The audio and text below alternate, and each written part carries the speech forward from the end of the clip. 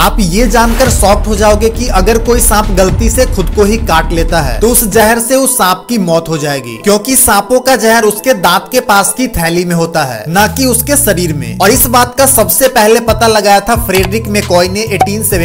में fact number two पूरे विश्व भर में सांप के काटे जाने से हर साल लगभग इक्यासी हजार ऐसी एक लाख अड़तीस हजार लोगो की मौत हो जाती है फैक्ट नंबर थ्री क्या आपको पता है की कोबरा के सिर्फ एक एम जहर की कीमत तीन लाख रूपए है और एक एक लीटर की कीमत 30 करोड़ रुपए फैक्ट नंबर फोर ऑस्ट्रेलिया को सांपों का घर भी कहा जाता है क्योंकि दुनिया के 10 सबसे जहरीले सांपों में से 8 तो सिर्फ ऑस्ट्रेलिया में ही पाए जाते हैं वहीं न्यूजीलैंड एक ऐसा देश है जहां एक भी सांप नहीं पाया जाता फैक्ट नंबर फाइव पूरी दुनिया में सबसे ज्यादा सांप ब्राजील के स्नेक आइलैंड पर है यहाँ पर हर एक स्क्वायर मीटर में आपको पाँच से दस सांप मिल जाएंगे ये पूरा आइलैंड ही सांपों से भरा पड़ा है